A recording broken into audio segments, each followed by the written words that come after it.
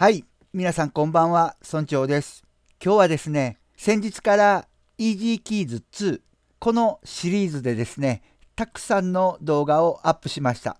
すると皆さんもたくさんの人が見てくれました。本当にありがとうございます。今日は画面にですね、3つのプラグインが表示されていまして、そして冒頭にですね、シルクというユージャムのギターの音色、これで音が鳴ったと思うんです。これはですね、この3つが連携して動いていたんです。この連携を簡単にご説明します。Easy Keys で作られた MIDI の和音、それが左の下の MIDI ポリッシャーという MIDI をいろいろフィルターするソフト、これに入ってきまして、そしてそれをシルクに流しているという、まあ、流れ的にはトライアングルな流れになっています。そしてこの MIDI ポリッシャーは僕の動画では案外よく出てくるんですけれども有名なプラグインブティック社のところで無料で配布されているようなソフトでして MIDI のルーティングには欠かせない便利なソフトです。ただしスタジオ1のプロフェッショナルこれで鳴らしております。 Cubase なんかも Cubase Pro と Artist と呼ばれる上から2つのグレードは MIDI のルーティングがとっても便利にできるようになっているんですけれども Elements とかをお使いの方はですねこのルーティングができません。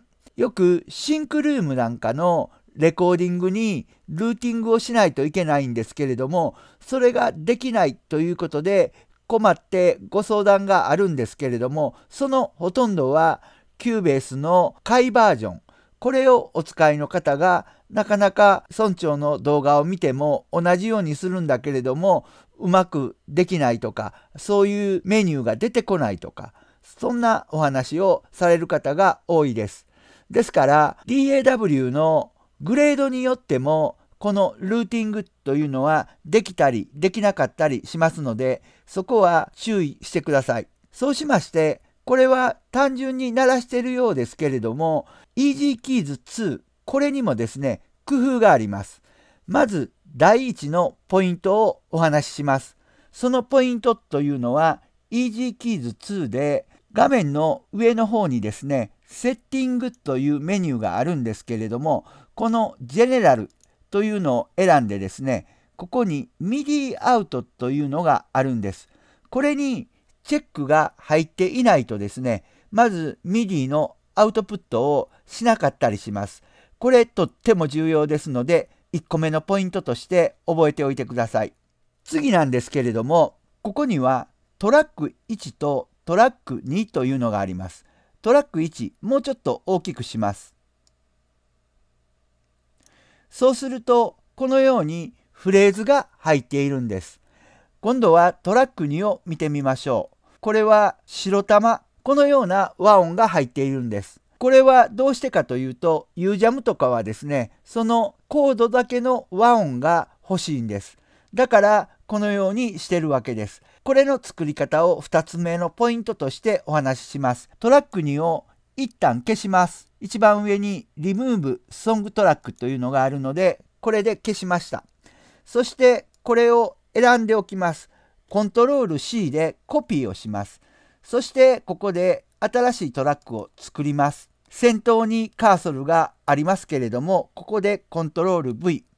このように貼り付けるわけです。でも、この時点ででは白玉の和音が入っていません。いわゆるフレーズをコピーしただけです。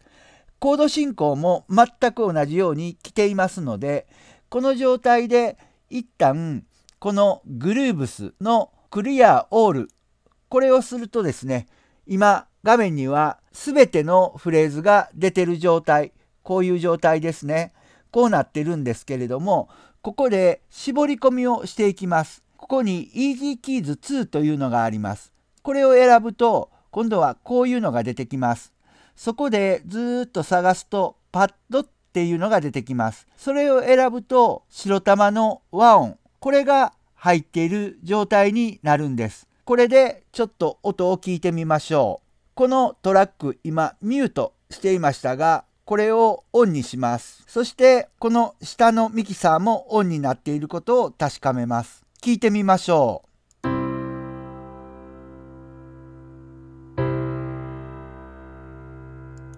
はい。このように白玉が入っているわけです。ですから、このフレーズを選んで、 Replace MIDI というのをしまして、これが選ばれている状態で Save Changes。これを押すとですね、ここに白玉和音が入るわけです。ここまでいいでしょうか。そうしまして、ここはミュートにしておく方がいいです。そうでないとピアノが鳴ったりします。このフレーズが演奏されまして、先ほども言いましたように、この MIDIポリッシャーに来るわけです。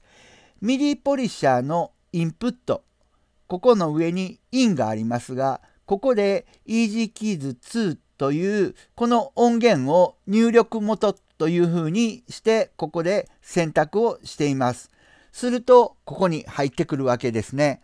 ここの一番上に1、2のところだけが緑色になっています。そっから後ろは赤になっています。ですからこれ1と2のチャンネルだけが音が通ってくるというふうになっています。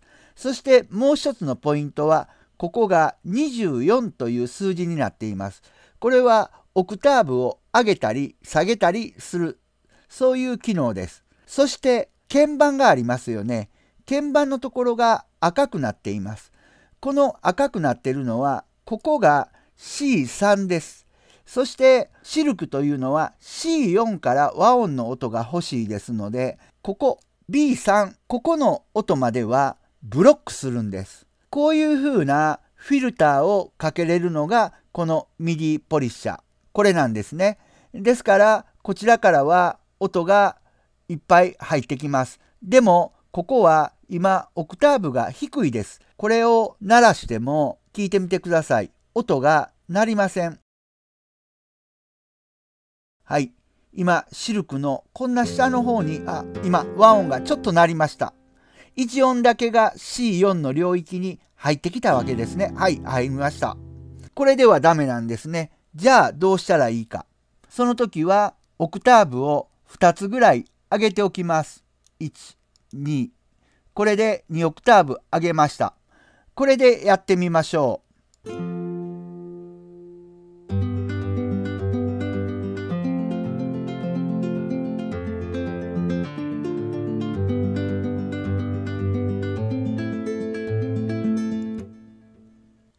このように音が鳴るわけです。そしてブロックをしている C4 未満の音はブロックされてですね、キースイッチ、この部分には音が入ってこないようになるわけです。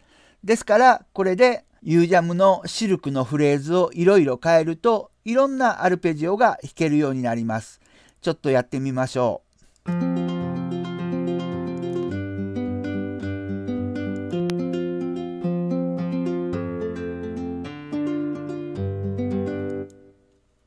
このようにルーティングができているわけです。今度はこの Easy Keys これをトラック1に戻します。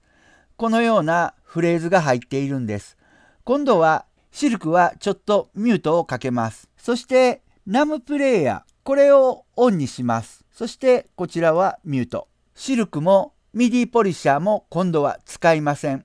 ナムプレイヤーというこういう音源があります。この音源は、インは Easy Keys 2から入ってきて、そしてアウトはナムプレイヤーの音を鳴らす。このようにセッティングしてあるわけです。ナムプレイヤーの方はどうセッティングしてるかというと、このキーズというところのスイッチが入っています。そしてこれを見てみると、マリンバの音。これがセッティングされてるわけです。マリンブアの音がセッティングされていましたら、ここで鳴らすと、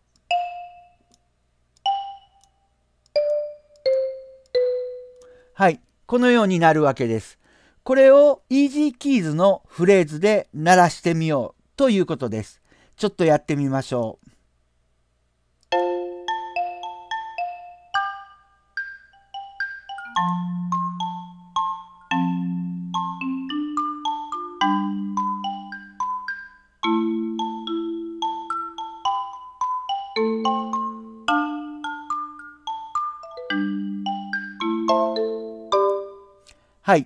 このようになりますし、例えばこれが音がストリングス。これの音だった場合はですね、ストリングスの中にまたいろんなものがあります。シンセパッド2。これを選んでおきましょう。音というのはこんな音です。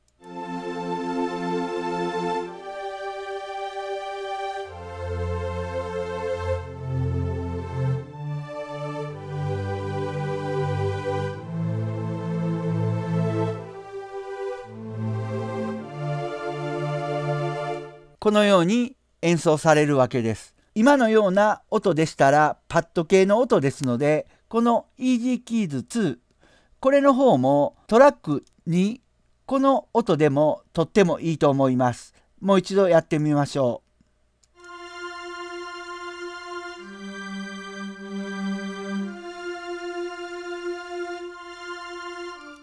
はい、今オクターブがそこそこ高いですから高いところで鳴っています。これを2つぐらい下げます。これでやってみましょう。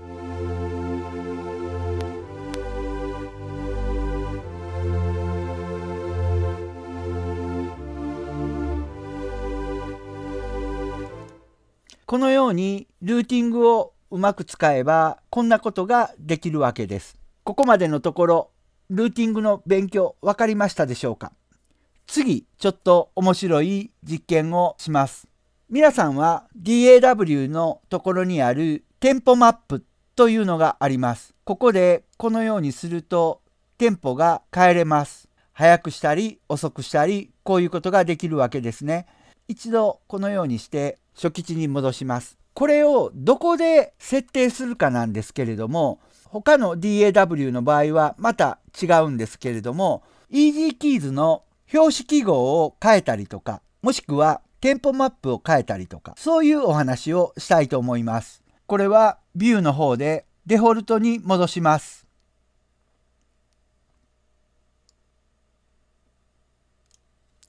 はい、このようになりました。それらの変更というのはいろんなところからできるようになっています。1つ目はトラックのこの数字の部分ですね。ここを右クリックするとこういうふうにテンポエディターとかタイムシグネチャーエディターとかこういうのが選べます。そしてこの下側ここにも同じ3つがあるんです。そしてまだあるんです。上のトラックのところここにここから3つこれがあります。じゃあそのテンポエディターを開きましょう。どの方法でもいいですから。このようにしますとテンポエディターが開きます。例えばこの5小節のところから上がるようにそして7小節のところから下がるようにこのような設定ができるんです。これは単にパンと変更されるだけではなくって斜めにもできるようになっています。いわゆるゆっくりしたリタルダンドですね。これができるようになっているわけです。このようにテンポマップというのは編集ができます。いらなくなったらこのポイントをデリートすると消えます。またここでダブルクリックをするとこのようになります。またこんな風にしてみたりすればいいわけです。今2つが同時に動いているのは2つが選択されているからです。1個だけ選択をしてするとこういう風な形になるわけです。こうやってテンポを入れ替えます。ここで105とかなっているけれども100にしたい時はここをダブルクリックすると編集もできます。このように自由にできるわけです。そしてこのモードをバッテンしてエディットから抜け出します。これをちょっと右の方にやっておきます。そしてテンポマップをこのテンポのところにこうやって持ってくるとこのように MIDI のテンポが設定されるわけです。ですから EZkeys の方でテンポマップを変えておく制作の終盤になって最後はちょっとここのスピード遅くしたいなというような時は EZkeys の方で設定をしてそして Studio One に読み込むそういうふうにするととってもいいわけです。今日は最後にもう一つヒントをお話ししたいと思います。先ほどありましたようにこの Easy Keys のトラック1でこのようなフレーズが入っています。これをですねこのようにドラッグしてくるとします。こうしましてこれをコードトラックに引っ張っていきます。そうするとこの辺見てください。歯抜けになっているわけですね。というのはこの音ここですね。この辺にはコード感がなかったりとかフレーズになっていますので単音で弾いていたりとかそういうことがあるからこんな歯抜けのコードトラックになるわけです。そういうことにならないようにするにはですねここでデリートをしてこちらもデリートをします。今度は先ほど作りましたように EasyKeys2 にはトラック2を入れてこうやって白玉和音を入れました。これをですねこのように引っ張ってきてそしてこれを上に上げる。そうすると歯抜けにならずですね正確な和音が出ています。はい。FGF FGF その後ろは d マイナー d マイナーそして G その後ろは a マイナーはい。下にあるのとほぼほぼ同じように持っていくことができるわけです。ほぼほぼといった理由はですね、スタジオ1にないコード、もしくはスタジオ1が考え方という意味で違うコード、その複雑なコードなどは出てこない場合があります。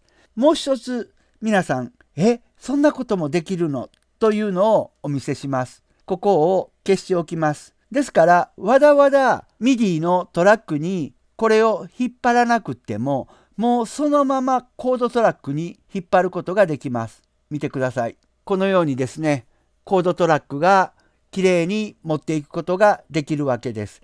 ただし Cubase とかでしたらここで記号これを出しておいてですね4分の4のキーは C であるということがここに出ておるんですけれども悲しいかな？ Studio One ではこれをドラッグドロップとか MIDI の読み込みとかというのができなくなっています。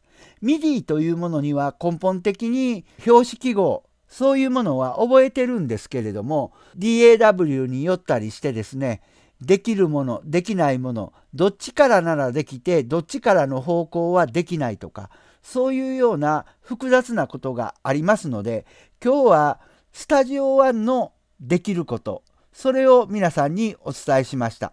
Cubase の場合、この連携はとっても強いです。皆さん、そこらを頭に入れてですね、こういうことをやっていただくと、より早く、より便利にルーティング、そしてテンポエディター、そんなものがうまくできるようになるわけです。今日の第一のポイントも忘れないでくださいね。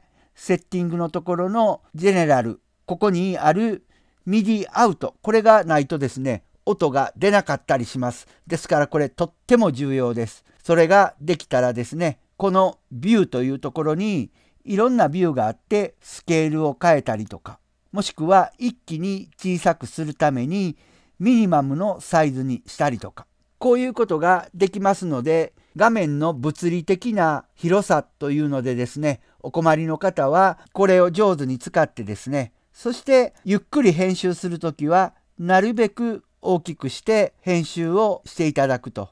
特にグリッドエディターの場合ですね。こういうことにチャレンジしてやってみてください。今日はちょっと上級者の方が気になるようなそういうチップスを皆さんにお伝えしました。村長スタジオでした。